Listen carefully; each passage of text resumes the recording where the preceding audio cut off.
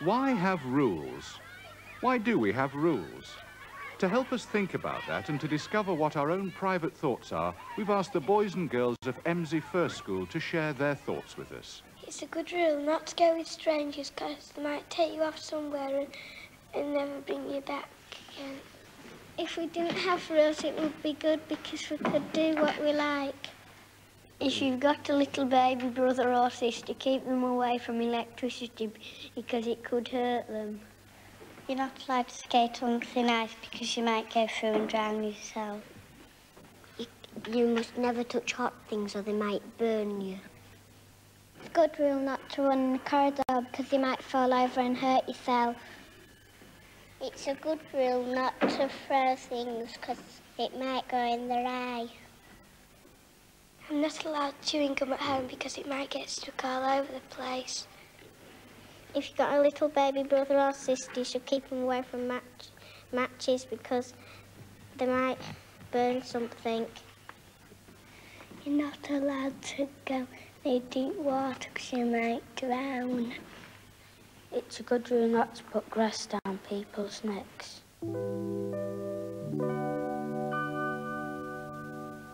Hello. If I'd been to your school and asked you, why do we have rules, do you know what you would have wanted to tell me?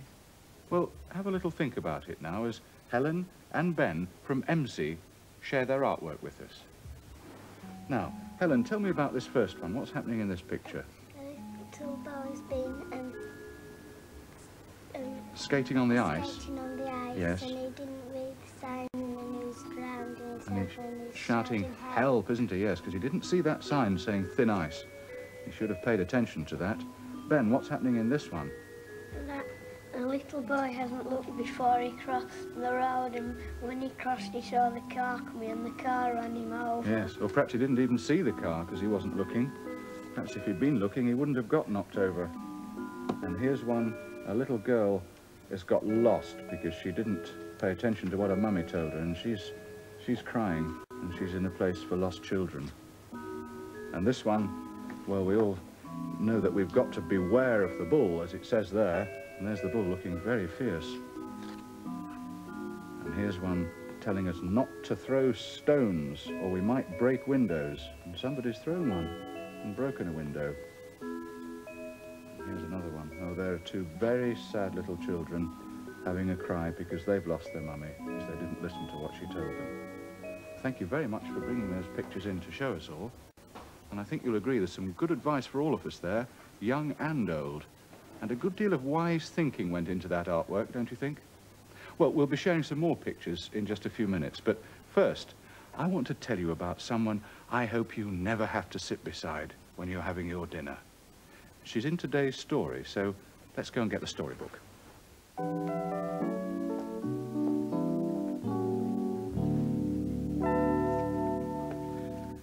Today's story is called The Tale of Mucky Mabel. This is the tale of Mucky Mabel, who had no manners at the table, who blew her nose on the serviette and made the tablecloth all wet, who spat the gristle from her meat so hard it travelled twenty feet. Her parents always dreaded peas, for Mabel could not handle these. Like emerald bullets they would fly and wallop someone in the eye. No matter how her mother tried, those peas found somewhere small to hide. Imagine having guests to tea exclaim, Oh, look, I found a pea. Not in the soup or on a plate, but nesting in the fire grate. Mabel, keep your elbows in, they'd say, but she would only grin. Or maybe kick them in the leg, or cough up clouds of scrambled egg. Mabel, use your knife and fork, and whilst you're eating, please don't talk. But Mabel did not wish to hear, and shoved her spoon into her ear, and blowing bubbles in her tea said, Please don't talk like that to me. For years it carried on like that, with Mabel getting pink and fat, and both her parents off their food because their daughter was so rude. Should happen. By and by, a piglet wandered from his sty, and hoping for a bite to eat, went trotting into Mabel's street. The smell of cooking wafted out and caught the piglet up the snout. The Sunday roast, the Yorkshire pud. Aha! The piglet squealed. That's good. At least it meant if pigs could talk, that's good as long as it's not pork. While Mabel's mum popped to the bin, through the door, Pig popped in. And seeing no one else was there, it plunked itself in Mabel's chair and tied a napkin round its face and bowed its head and said its grace. Oh, there you are, said Mabel's mum. I called to you, but you didn't come.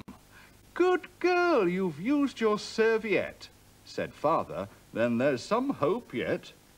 They ate their lunch and sat agog, not knowing Mabel was a hog. No gravy spilled, no peas were flicked, no tantrums, and no noses picked.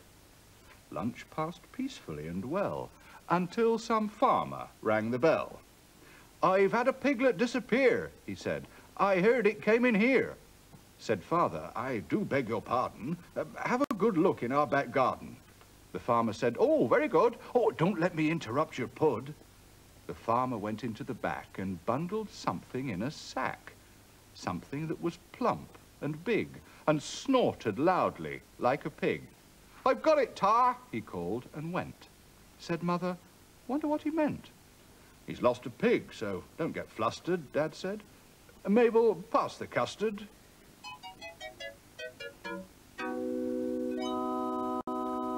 That story was told in rhyme, and I hope you enjoyed it.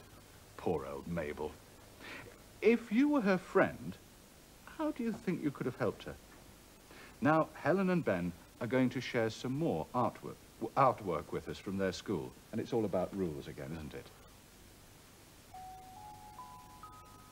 Here's one saying, don't shout in school. You don't need to shout at the teacher. And here's another one that says, don't eat and don't drink strange things. They could be very dangerous and make you very ill indeed. And here's somebody saying, don't annoy me. Because we, we mustn't tease other people, must we? It's not fair. Here's somebody being told not to run along the corridors. But they didn't pay attention and they've fallen over. This person's fallen over as well because they didn't pay attention when the teacher said, don't lean back on two chair legs. As though they've had a nasty bump on their head. And here's somebody being told not to speak to strangers. That can be very dangerous and you mustn't do it. Neither must you knock people about or push them. They might fall down and hurt themselves very badly, like this one. And if you've got a dog and you're out in the country, don't let it chase lambs or you'll be in a lot of trouble with the farmer. And do take care when you're riding your bicycle so that you don't fall off and hurt yourself like this little boy has. And if you've got nice friends who lend you their toys, do take care of them, because if you don't, they won't lend them to you anymore.